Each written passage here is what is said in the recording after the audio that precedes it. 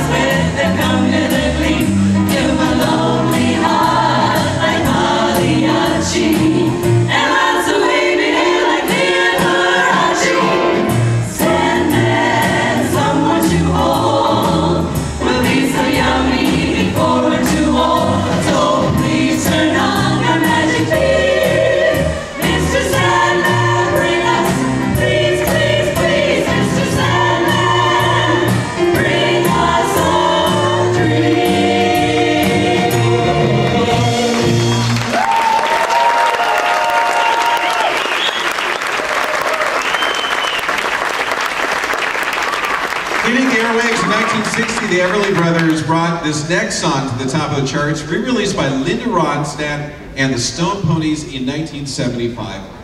It is still an audience favorite. With their own special touch, our Kates bring their signature pizzazz to this oldie but goodie.